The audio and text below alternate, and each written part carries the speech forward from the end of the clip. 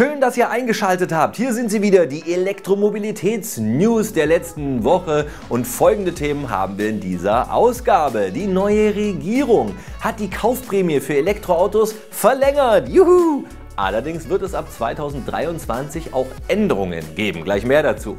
Tesla wertet das Model Y und teilweise auch das Model 3 mit einem kleinen Facelift auf. Volkswagen plant Verbesserungen in der ID-Serie. Im nächsten Jahr kommt bidirektionales Laden in die ID-Fahrzeuge. VW wird auf 800 Volt Technik umsteigen und auch Plug-in-Charge kommt. Lightyear kündigt ein 30.000 Euro teures Solarelektroauto an. Daimler, Volvo und Traton bauen gemeinsam mindestens 1700 Ladestationen für Lkw und Reisebusse und Renault Zoe und Dacia Spring versagen bei den Crashtests. Die heutige Ausgabe wird präsentiert von Tesvolt. Da bekommt ihr Lithium, Batteriespeicher für Industrie, Gewerbe und Landwirtschaft. Gleich mehr dazu. Wir mussten eine Zeit lang warten beim Übergang der alten zur neuen Regierung, bis wir wussten, was passiert denn jetzt auch mit der Innovationsprämie, also mit der richtig guten Elektroautoprämie von 9000 Euro. Und jetzt ist es endlich raus, die neue Bundesregierung verlängert die Förderung von Elektroautos und Plug-in-Hybriden in der bisherigen Höhe bis Ende 2022. Ändert sich also nichts. Käufer von rein elektrisch betriebenen Elektrofahrzeugen erhalten also im Jahr 2022 weiterhin noch die 9000 Euro Förderung. Die Plug-in-Hybride bleiben auch bei den maximal 6750 Euro. Von 2023 an sollen dann aber nur noch Elektrofahrzeuge Fahrzeuge gefördert werden, die nachweislich einen positiven Klimaschutzeffekt haben. Also es wurde ja schon länger behauptet, dass äh, Plug-in-Hybride zum Beispiel auch einen positiven Klimaschutzeffekt haben. Jetzt kommt das Wort nachweislich dazu. Das klingt doch mal sehr interessant. Unser neuer Wirtschafts- und Klimaschutzminister Robert Habeck, das geht da immer noch nicht so, das ist noch nicht so flüssig von den Lippen, das ist noch so neu, aber ich freue mich sehr, sagt, Zitat, wir werden in Zukunft bei der Förderung ehrgeiziger um der Elektromobilität weiteren Schub zu verleihen und den Klimaschutz zu stärken. Und dazu werden wir die Förderung neu ausrichten. Es gibt also ab 23 schon Änderungen. Die von der früheren Regierung geplanten Änderungen, die jetzt bald schon kommen sollten, also dass die Anschaffung von Kleinstwagen der Klassen L5e und L7e mit 500 Euro gefördert werden, werden aktuell nicht umgesetzt. Kann ja dann ab 23 vielleicht kommen. Laut Habeck wurden die Arbeiten am neuen Förderdesign ab 23 direkt mit dem Start der neuen Bundesregierung auch schon aufgenommen.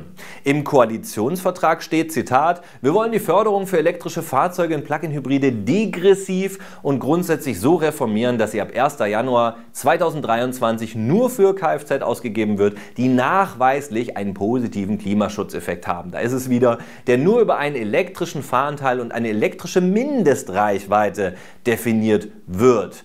Degressiv ist so ein komisches Wort. Das heißt also im Prinzip, gedanklich, wenn ich das richtig verstehe, soll sozusagen die Förderung absteigend gestaltet werden. Also ich vermute jetzt einfach, dass man ab 23 sagt, jetzt gibt es vielleicht keine 9000, vielleicht nur noch 7000, dann ab 24 vielleicht nur noch 5000 und ab 25 dann vielleicht nur noch 3000 Förderung und dann gar keine mehr. Ne? Also könnte sozusagen die Förderung über die Jahre gesenkt werden. Das vermute ich mal, wird wahrscheinlich so kommen. Die Beträge waren jetzt nur Beispiele von mir. Da werden wir natürlich noch sehen, was da passiert. Die elektrische Mindestreichweite der Fahrzeuge muss bereits ab dem 1. August 2023 80 Kilometer betragen. Zitat, das ist natürlich ein Witz, bereits ab 1. August 2023, noch ewig hin. Und da geht es natürlich ganz klar nicht um die batterieelektrischen Autos, weil die haben ja alle eine Mindestreichweite von 80 Kilometer inzwischen, sondern es geht natürlich um die Plug-in-Hybriden, also die äh, Verbrenner, die ja noch eben so ein bisschen so tun, als wären sie elektrisch. Und die sind einfach in der Vergangenheit einfach, haben sich herausgestellt, dass sie sogar klimaschädlicher sind als Verbrenner, weil sie nicht richtig eingesetzt werden als Plug-in-Hybriden, zu den meisten Fällen. Und das ist also wirklich ein großes Desaster. Und deswegen muss da was dran unternommen werden. Lieber wäre mir gewesen, dass sie nachweisen müssen, dass sie den meisten Anteil elektrisch fahren und dann die Förderung erst bekommen. Hier soll es jetzt wohl eben diese Mindestreichweite geben. Naja, es ist halt ein Kompromiss. Darauf müssen wir uns wohl einstellen in der Ampelkoalition, dass es eben viele Kompromisse geben wird. Aber grundsätzlich ist es ja gut, dass es weitergeht. Das ist meine Meinung dazu. Was sagt ihr dazu? Schreibt es mir in die Kommentare äh, unterhalb des Videos und vor allem wollt ihr jetzt unbedingt noch 22 schnell noch ein neues Auto kaufen, weil es vielleicht ab 23 weniger sein wird? Wäre jetzt mal so eine Frage Werdet ihr da ein bisschen nervös oder so? Schreibt mal in die Kommentare, was ihr über das Ganze denkt. Und es gibt News von Tesla natürlich, wie eigentlich fast jede Woche. Und Tesla verbessert das Model Y und das Model 3. Die Modelle bekommen sogenannte Super Horns, also Super Hupen. Ah, nein, Max, nicht das, was du jetzt hier einlässt. Ihr Schweine, was denkt ihr denn? Nein, die Super Hupe soll nicht nur Warntöne ausgeben, wie man das sonst von Hupen kennt, also die anderen Hupen, sondern auf Wunsch auch Töne aus dem Innenraum oder Musik, also Töne aus dem Innenraum oder Musik, die per Hupe nach außen schallt. Was muss man sich darunter vorstellen? Das klingt erstmal ganz schön lustig. Also ich fahre selber so ein Autorennspiel, da äh, stelle ich mir auch immer alle möglichen lustigen Hupen ein, zum Beispiel der Cucaracha oder sowas, ja, da kann man lustige Dinge machen. Naja, wir werden sehen, was Tesla sich da wieder einfallen lässt. Außerdem ersetzt Tesla auch die 12-Volt-Batterie des Model 3 und des Model Y endlich durch eine Lithium-Ionen-Batterie. Beim Model S und X ist das ja bereits geschehen und jetzt kommen sie auch in die anderen Modelle. Die Änderungen beziehen sich wohl auf Model Y und Model 3 aus Shanghai und später auch aus Grünheide, hier in der Nähe von Berlin da sind wir ja. Die Fahrzeuge sollen das Interface von Model S und Model X dann per Software-Updates erhalten und dann auch mit AMD-Chips statt den bisherigen Intel-Chips ausgerüstet werden. Außerdem bekommt das Model 3 Performance einen neuen Akku, bessere Motoren für eine höhere Endgeschwindigkeit und mehr Reichweite. Also das ist doch schon ganz schön ordentlich. Dazu kommen dann auch noch Fahrerseiten-Airbags bei beiden Fahrzeugmodellen. Beim Model 3 werden dann auch die hinteren Seitenscheiben in Zukunft in einer geräuschdämmenden Version verbaut. Beim Model Y ist das ja auf dem deutschen Markt von vornherein so gewesen. Tesla nimmt aktuell keine neuen Bestellungen für Model S und Model X mehr an. Ja, der Bestellstopp wird auch per E-Mail gegenüber Käufern kommuniziert, die in Europa schon ein Model S oder Model X bestellt haben. Also die bekommen es wohl, sagt Tesla, und auch zum gleichen Preis. Aber eben neue Bestellungen gehen gerade nicht. Und wenn man wirklich einen Model S oder Model X jetzt neu bestellen will, dann muss man wohl auf die zweite Jahreshälfte 2022 warten, damit man dann eben sein neues Modell bekommt. So lange geht das nicht. Oder Gebrauchte nehmen oder eben Model 3 oder Model Y nehmen oder auf einen anderen Hersteller ausweichen. Das geht ja rein theoretisch auch. So, wir kommen nochmal zu Volkswagen. Die wollen nämlich die eigenen Elektroautos für bidirektionelles, ich sage das immer falsch, bidirektionales Laden rüsten. So an alle Kritiker. Bidirektionales Laden heißt das Ganze natürlich. VW sagt selbst, wir wollen die Batterien unserer E-Autos als flexible mobile Speicher im Energiemarkt nutzbar machen. Alle ID-Modelle mit der großen 77 Kilowattstunden Batterie werden dann mit der Technik ausgestattet. Und alle Fahrzeuge, also die schon ausgeliefert werden, haben das schon. Und, äh, also die jetzt ausgeliefert werden und alle, die bereits ausgeliefert sind, also die schon bei euch äh, zu Hause sind, die bekommen das Ganze sogar dann per Over-the-Air Software Update. VW will damit nicht wie andere Hersteller dann irgendwelche mobilen Steckdosen im Auto anbieten, sondern das Auto hauptsächlich mit dem Heimnetz verbinden, um dann eben später, wenn die Standards vorliegen, auch ins Energienetz noch einsteigen. Eine solche Einspeisung kann sehr sinnvoll sein, um Stromnetze zu stabilisieren. Und anstatt die Netze für viel Geld auszubauen, könnten solche Akkus von Elektroautos als Batteriepuffer fungieren, um Lastspitzen abzufangen und gelten damit als eine ganz wichtige Komponente auf dem Weg in die Energiewende. Volkswagen setzt beim bidirektionalen Laden ausschließlich auf die Nutzung der Autos als Gleichstromquelle. Das bedeutet also, dass für die Einspeisung des Stroms in das eigene heimische Stromnetz dann externe Wandler nötig sind also weil es ja nicht im Auto passiert, sondern sozusagen der Gleichstrom aus dem Auto weitergegeben wird und im Haus hat man da einen Wechselstrom, also muss es einen Wandler geben. Und Volkswagen entwickelt für den Stromtransfer und die Kommunikation eine spezielle DC-BD Wallbox, steht wohl für bidirektionales Laden, so oder Abgeben von Energie. Solche Geräte für bidirektionales Laden, wie die Wallbox Quasar, kosten zurzeit aber satte 5900 Euro. Zu welchem Preis VW dann die spezielle DC Wallbox anbieten will, ist noch nicht bekannt, aber so hoch kann es natürlich nicht sein. Da muss sich ja noch was tun. Der Vorteil, wenn man auf Gleichstrom setzt, ist, dass die Autos eben nicht auf ein spezielles Wechselstromnetz ausgerichtet sein müssen, sondern eben ähm, können in jedem Land, es gibt ja viele unterschiedliche ja, Ausrichtungen des Stromnetzes in verschiedenen Ländern, die Anpassung an Spannung und Frequenz der Wallbox überlassen. Das heißt also, man muss nicht die Autos ständig für die verschiedenen Länder unterschiedlich gestalten, sondern die Autos bleiben immer gleich und man regelt das dann alles in der Wallbox. Eigentlich gar nicht so schlecht. Außerdem sind theoretisch viel höhere Leistungen möglich als die üblichen 11 kW beim Wechselstrom. Und da ja im Auto selbst nichts verändert werden muss, kann eben diese Funktion per Software-Update auch im Nachhinein freigeschaltet werden. Die neuen VW ID5 und ID5 GTX sollen bereits ab Anfang 2022 mit der neuen Software für bidirektionales Laden ausgestattet werden.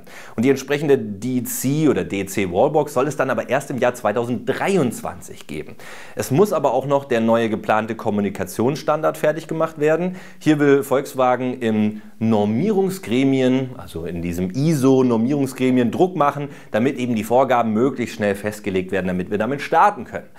Außerdem fehlen aber noch regulatorische Bestimmungen für bidirektionales Laden und Smart Meter Gateways inklusive Steuerungseinheiten müssen entsprechend ausgelegt, verfügbar und kosteneffizient sein. Es gibt also noch einiges zu tun. Nicht nur die technische Umsetzung, sondern auch ganz viele Regulatorien. Durch die Nutzung als Energiespeicher soll sich der Akku auch nicht stärker abnutzen als beim normalen Gebrauch. VW selbst setzt dann fahrzeugtechnisch die Grenzen, damit Kunden nicht die Gewährleistung überschreiten. Dadurch soll verhindert werden, dass sich eben der Verkaufswert des Fahrzeugs durch eine niedrigere Akkukapazität dann verringert. Und das finde ich jetzt gleich richtig cool. Volkswagen plant nämlich in diesem Zusammenhang die direkte Anzeige der verbliebenen Restkapazität im Fahrzeug, um es Käufern leichter zu machen, den Wert des Gebrauchtwagens einschätzen zu können. Bisher ist es ja, es ist ja wirklich, die Batterie ist im Elektroauto das wichtigste oder teuerste Element, das Herzstück. Und wenn man natürlich ein Auto, Elektroauto gebraucht verkauft, ist natürlich entscheidend, beim Preis, wie gut die Batterie noch ist sozusagen. Und das nennt man dann Batteriedegradation, also wie viel Kapazität von der ursprünglichen Batteriekapazität steht noch zur Verfügung. Und wenn da zum Beispiel steht 90 Prozent, heißt es 10 Prozent der Kapazität ist halt verloren gegangen. Also die Zellen sind nicht mehr nutzbar. Und das soll wohl direkt in Zukunft einsehbar sein. Das finde ich sehr gut und transparent, vor allem als Käufer von gebrauchten Elektroautos. Und der Markt wird ja immer größer. Volkswagen plant wohl auch die gesamte Hochvolttechnik auf 800 Volt umzustellen. Porsche und Audi nutzen schon die 800 Volt Technik. Bei der ID-Familie ist das aber aktuell noch nicht der Fall. Das soll sich wohl auch ändern. VW sagt, es wird auf die Dauer nicht bei 400 Volt bleiben. So viel kann man sagen. Wie wir es genau machen, kommunizieren wir zu gegebener Zeit. Also, also noch sehr schwammig. Was konkreter ist, ist, was mit der Softwareversion 3.0 passiert die ja jetzt ansteht, da will VW äh, darüber hinaus die Ladegeschwindigkeiten erhöhen. Das heißt also, die Ladegeschwindigkeiten, die ihr jetzt in eurem Auto habt, könnten durch ein Software-Update dann eben jetzt höher werden. Bei der 77 Kilowattstunden Batterie, also da sind wir wieder bei der größten Batterie, steigt die maximale Leistung von 125 auf 135 kW. Das klingt jetzt nicht drastisch, ist aber nicht schlecht. Beim ID5 GTX soll das sogar bis auf 150 kW per Software-Update hochgehen. Das soll dann immerhin bei einer Ladung von 5 auf 80 Prozent bis zu 9 Minuten einsparen. Und ich meine, knapp 10 Minuten Ersparnis bei jedem Ladevorgang, das ist doch schon ganz ordentlich. Wie das jetzt also und ob das überhaupt bei kleineren, also bei der kleinen, mittleren Batterie kommt, weiß man noch nicht. Komischerweise spricht hier Volkswagen die ganze Zeit nur von der großen 77 Kilowattstunden Batterie. Bin mal gespannt, weil wir fahren ja hier auch im Robin TV Team ein VW ID3 mit der 58 Kilowattstunden Batterie, also mit der mittleren. Ob wir dann auch da Verbesserungen bekommen, da bin ich echt mal gespannt. Bleibt für euch dran, weil das wäre natürlich für uns auch eine schöne Sache. Und dabei schließt VW nicht aus, dass sogar höhere Ladeleistungen von bis zu 175 kW erreicht werden können. Die Software-Updates sollen bei den ausgelieferten Modellen in Kombination mit dem Austausch der 12-Volt-Batterie erfolgen. Da gibt es wohl ein Austauschprogramm. Ich denke mal, da werden alle dann per Schreiben von VW dann bald Bescheid bekommen und dann wird das gleich praktisch mit erledigt, weil eine 12-Volt-Batterie, die kann man jetzt nicht per Software-Update austauschen. Das wäre auch ein bisschen verrückt. Ebenfalls will VW das Laden unterwegs auch einfacher machen. Per Software-Update kommt nämlich im nächsten Jahr die Plug-and-Charge-Funktion. Oberklasse-Modelle von Audi, Porsche oder Mercedes haben das schon seit längerem und es soll dann eben möglich sein, bis zu 10 Ladekarten im System zu hinterlegen. Und vor Beginn des Ladevorgangs kann man dann im System einstellen, über welchen Vertrag abgerechnet werden soll. Das heißt also, wenn ihr da 10 Tarife hinterlegt, dann könnt ihr mal gucken, was ist aktuell der günstigste, tippt auf den drauf und wenn ihr den Stecker reinsteckt, dann geht es automatisch los und ihr müsst sonst nichts machen. Klingt doch richtig gut. Und auch die Routenplanung wird verbessert oder sagen wir mal so, werden, wird vielleicht mal auf ein anständiges Niveau gehoben. Da muss man ja schon mal sagen, dass die bisher nicht so gut ist. Da kann man bald den Ladezustand am Ziel anpassen. Das habe ich lustigerweise, als, da gab es ja dieses Software-Event von VW in diesem Jahr, könnt ihr mal hier auf dem Kanal gucken, habe ich auch ein Video dazu gemacht. Da habe ich das bei VW die ganze Zeit gesagt, guckt mal, dass ihr den Ladezustand am Ziel, dass man den einstellen kann. Also bisher ist er auf, auf 30 Prozent sozusagen voreingestellt, das kann man nicht ändern. Vielleicht möchte man aber auch mit 50 Prozent ankommen, um vielleicht auch die Strecke oder 60 Prozent die Strecke wieder rückfahren zu können. Das soll wohl in Zukunft gehen. Wer weiß, vielleicht habe ich da ja äh, den richtigen überzeugt. Mal gucken, ob ich da eine Auswirkung hatte.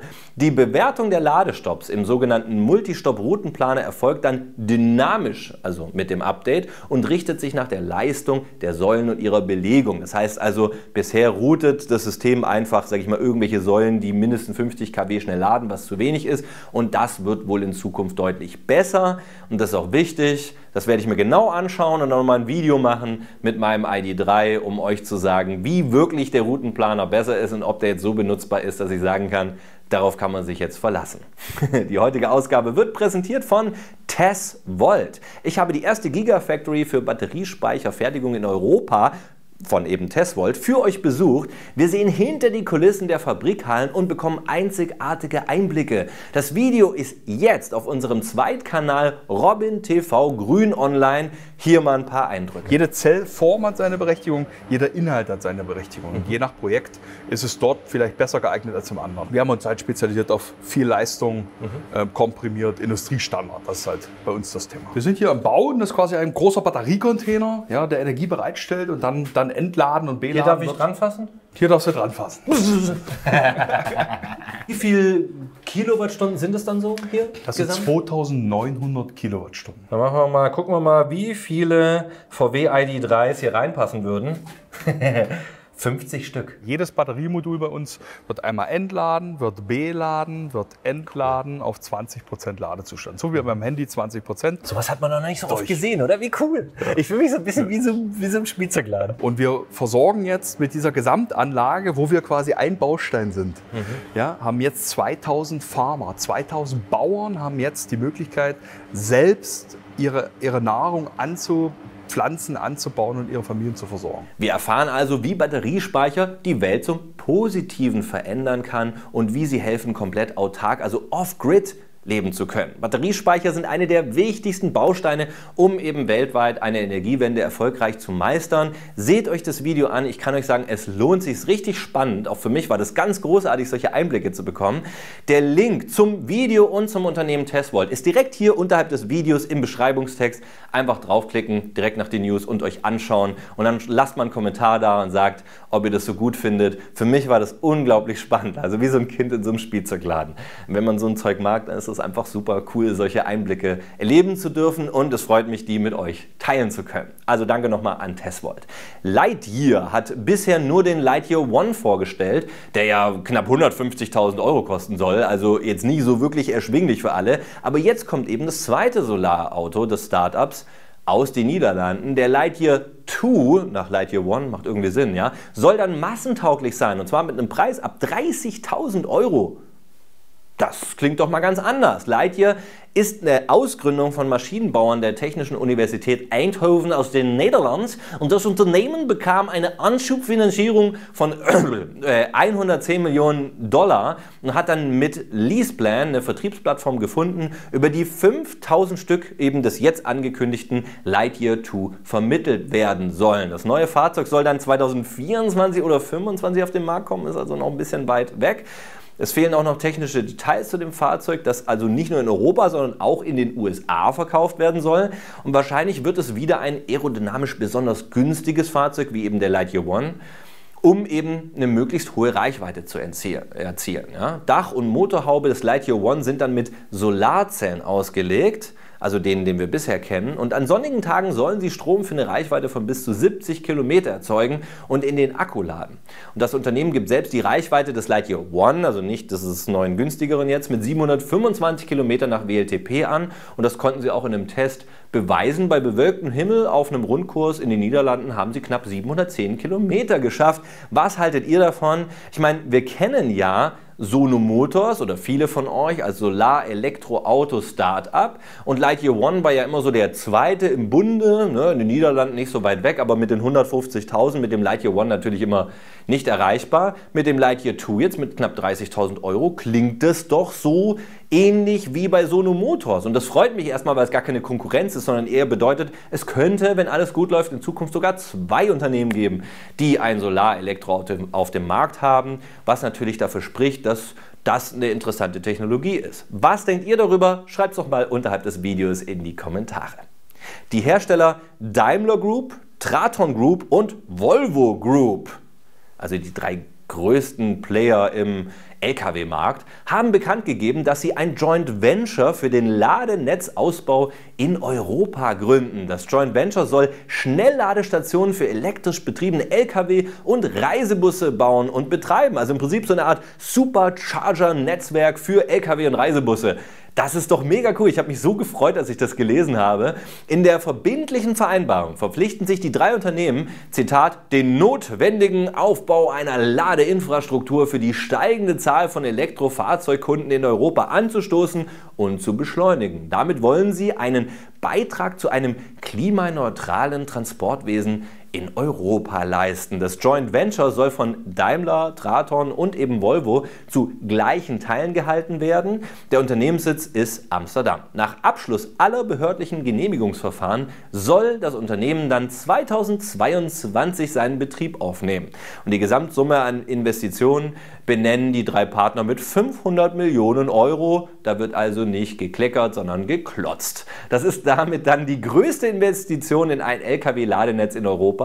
Und bis 2027 will eben genau dieses Joint Venture dann in ganz Europa mindestens 1700 Hochleistungsladepunkte installiert haben, die mit Ökostrom versorgt werden. Und Hochleistungsladepunkte heißen sie deshalb, weil natürlich in so LKWs und Reisebusse wahnsinnig hohe Ströme fließen müssen, noch viel mehr kW, als wir das bisher schon aus den PKWs kennen. Und die Ladestationen sollen sich in der Nähe von Autobahnen, Abladestellen und Logistik-Hubs befinden was natürlich logistisch gesehen total sinnvoll ist. Das Joint Venture sieht das Projekt als sinnvollen Weg, CO2-Emissionen in kurzer Zeit zu senken und Lkw-Flottenbetreibern den Übergang auf elektrische Transportlösungen zu erleichtern. Ja, natürlich, wenn es ein ganzes Netz aus super äh, äh schnellladenden Stationen für eben Lkws gibt, dann können auch natürlich viele Transportunternehmen umsteigen. Ist ja klar. Die sagen sich sonst, wo sollen wir denn laden? Und wenn da so ein Netz existiert, macht das natürlich total viel Sinn.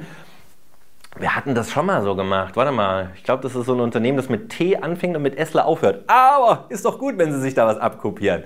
Die Partner wollen mit dem zukünftigen Joint Venture den Weg für die Umsetzung des Green Deal der Europäischen Union und damit für einen klimaneutralen Güterverkehr bis 2050 bereiten. Moment mal, 2050 ist ein bisschen spät.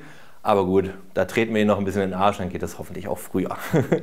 und wir haben noch eine Meldung, die ehrlich gesagt gar nicht so lustig ist. Ich war ein bisschen schockiert. Die neueste Generation von Renaults Elektrokleinwagen Zoe und auch das neue Elektro-SUV Dacia Spring wurden Crash-Tests im Euro-NCAP-Programm unterzogen. Und übrigens, Dacia gehört auch zu Renault. Also wir reden vom Renault-Konzern. Und beide Fahrzeuge enttäuschten sehr. Die Tester haben den Renault-Konzern angesichts der sehr schlechten Ergebnisse ganz schön scharf kritisiert. Dem Renault Zoe wurden in der Kategorie Schutz von erwachsenen Insassen nur 43 Prozent der Gesamtpunktzahl verliehen. Der Schutz von Kindern wurde mit 52 Prozent auch ganz schön schlecht bewertet. Auch beim Schutz von gefährdeten Verkehrsteilnehmern, also der Fußgängersicherheit übersetzt, enttäuschte der Zoe mit 41 Prozent der Punkte. Bei den Sicherheitsassistenten wurden sogar lediglich 14 Prozent erreicht. Der Zoe wurde 2013 eingeführt, also in der ersten Generation. Und damals hat die Technik bei eben diesem Euro-NCAP-Test noch für 5 Sterne gereicht. In 2020 hat das Modell ja einen Facelift erhalten, also deswegen der neue Zoe oder wie ich sagen würde, die neue Zoe. Und die Sicherheit wurde laut Euro NCAP aber eben nicht an aktuelle Standards angepasst. Sie schreiben im Gegenteil, der Seiten-Airbag am Sitz, der früher Kopf- und Brustkorb schützte, wurde durch einen weniger wirksamen reinen Thorax-Airbag ersetzt, was eine Verschlechterung des Insassenschutzes darstellt. Sagen die Tester, nicht ich. Und sie sagen weiterhin, der neue Zoe bietet insgesamt einen schlechten Schutz bei Unfällen, einen schlechten Schutz für ungeschützte Verkehrsteilnehmer und keine sinnvolle Technologie zur Unfallvermeidung, was ihn für alle Sterne disqualifiziert. Das ist echt hart. Der Dacia Spring hat beim Schutz von erwachsenen Insassen 49% erreicht, bei Kindern 56% und bei der Fußgängersicherheit 39% der Punkte. Und die Sicherheitsassistenten wurden mit 32% bewertet. Ja, das Abschneiden des Dacia Spring bei den Crashtests sei geradezu problematisch, schreiben die Tester, mit einem hohen Risiko lebensbedrohlicher Verletzungen für den Brustkorb des Fahrers und den Kopf des Beifahrers bei Frontalcrashtests sowie einen geringen Schutz des Brustkorbs bei Seitenaufprall. Das erklären die Euro-NCAP-Experten. Und sie bewerten den Spring mit einem Stern. Das ist ganz schön brutal. Und jetzt kommt das wirklich hammerharte äh, Fazit von dem Generalsekretär des Euro-NCAP Crash Tests. Er sagt, Zitat, Renault war einst ein Synonym für Sicherheit. Aber diese enttäuschenden Ergebnisse für den Zoe und den Dacia Spring zeigen, dass die Sicherheit beim Übergang des Konzerns zu Elektroautos zum Kollateralschaden geworden ist, sagt er. Weiter geht das Zitat mit, es ist zynisch, dem Verbraucher ein erschwingliches, umweltfreundliches Auto anzubieten, wenn der Preis dafür ein höheres Verletzungsrisiko im Falle eines Unfalls ist. Boah, da läuft mir wirklich gerade eiskalt den Rücken runter. In erster Linie tut es mir total leid für Renault, dass das so gelaufen ist. Ich kann das jetzt im Moment gar nicht einschätzen und vor allem wünsche ich mir, dass alle, die mit den Autos unterwegs sind, möglichst sicher unterwegs sind und vorsichtig fahren. Ich weiß, das ändert jetzt vielleicht nichts ähm, an der ganzen Sache, aber das ist natürlich schon krass. Sowas habe ich jetzt auch noch nicht gehört. Also, puh. So ist das halt manchmal. Ich zeige euch hier nicht, dass Elektromobilität nur wunderschön ist, auch wenn ich ein gut gelaunter Mensch bin, sondern hier werden wir natürlich schon alle Bereiche aufzeigen. Ich zeige euch, was gut ist, ich zeige euch aber auch mal, was nicht so gut ist. Aber grundsätzlich kann ich sagen, Elektromobilität macht einfach unglaublich viel Spaß. Das waren die letzten E-News im Jahr 2021. Ja, ist schon soweit. Jetzt ist zwar vielleicht ein bisschen früh, wenn ihr das Video schaut. Aber ich kann euch sagen, ich wünsche euch jetzt schon wunderschöne Weihnachtstage, einen guten Rutsch ins neue Jahr und ich freue mich auf ein großartiges Jahr 2022. Wir haben schon tolle Sachen geplant. Das wird bestimmt richtig cool und da können wir uns bestimmt auch mal wieder persönlich sehen. Ja, bleibt gesund bitte, passt gut auf euch auf. Danke fürs Zusehen in diesem Jahr und wir sehen uns nächstes Jahr oder gleich im nächsten Video. Also bis dann.